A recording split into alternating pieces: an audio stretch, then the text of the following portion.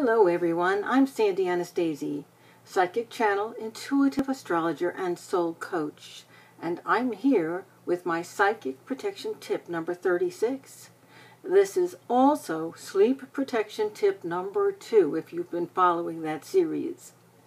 Folks, this Psychic Protection Tip intended to help you get a better night's sleep when traveling is a must for everyone whether you're visiting relatives, whether you're on vacation, or even if you're traveling for work, even if you're just spending one or two nights from home.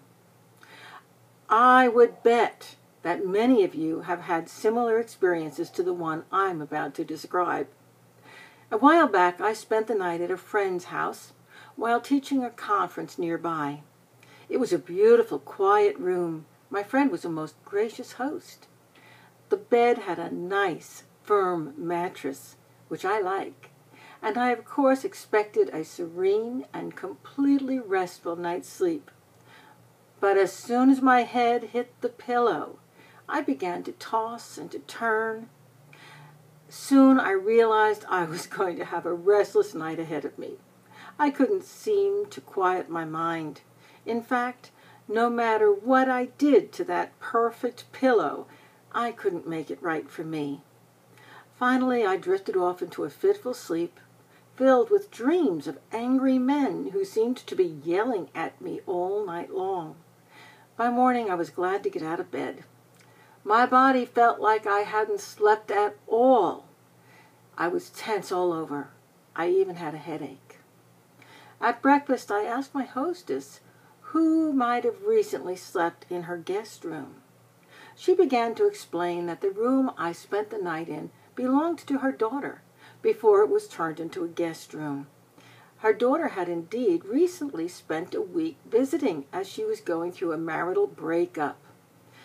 She was also changing jobs at the same time, and she was trying to get herself sorted out. Apparently, the daughter's soon to be ex was really giving her a hard time, and her ex boss was too. They were both screamers who had done serious damage to the poor girl. Listening to this sad story, I of course kicked myself. I know better than to sleep in someone else's bed without taking a few precautions first. Here are the precautions I should have taken. And let me tell you, these would have given me a great night's sleep. First, it's a great idea, my friends, when traveling to bring your own pillow. In fact, there have been times when I actually strapped my pillow onto the outside of my suitcase when I was flying. It might have arrived a little bit dirty, but it was still mine. You see, your head and mind are very susceptible to the thoughts and feelings of other people. If you can't take your own pillow, at least dust the pillow that you're using with a sprinkling of salt guess what? That's going to ground out any energy that's not yours, and it's easy enough to obtain. Everybody has salt at the dinner table. It'll get rid of any energy that's not yours. A banishing cross or pentagram, that means a five-pointed star, drawn with some salt water on the pillow is especially effective in blocking unwanted energy. I do this every time and everywhere I travel. Second, treating the entire bed the same way, especially if you're on the road where so many different vibrations from so many different people might be left on the bed, will make you feel like you're in the same bed you share at home. This is both grounding and clearing.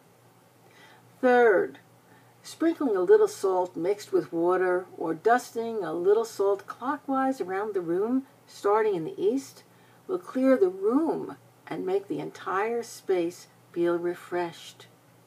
This step is especially good to add if you're staying in a hotel.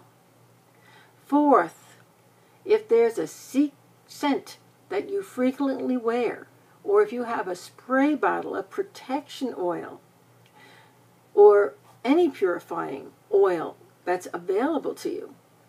In fact, many health food stores sell that. Metaphysical stores sell those both online and offline. You can spritz the clockwise oil around the room, starting in the east. This would be either in addition to or in place of sprinkling the previous step. So you could add it to or you could replace it for the salt.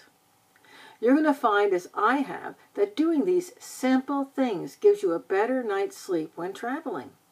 No more waking up with someone else's headaches, someone else's pains, just plain feeling out of sorts for you.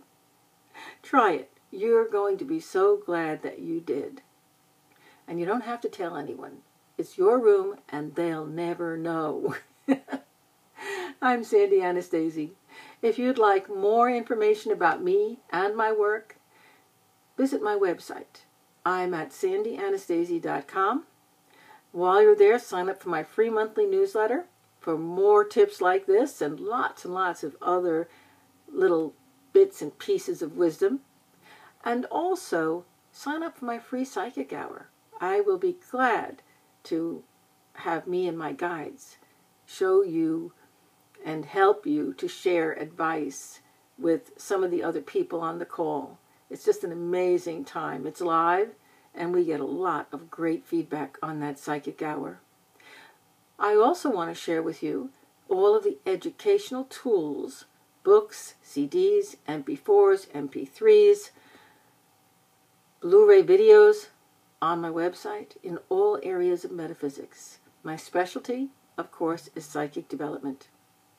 I'm looking forward to seeing you again, and I'll be back here next month with another psychic protection tip. Thanks so much for stopping by.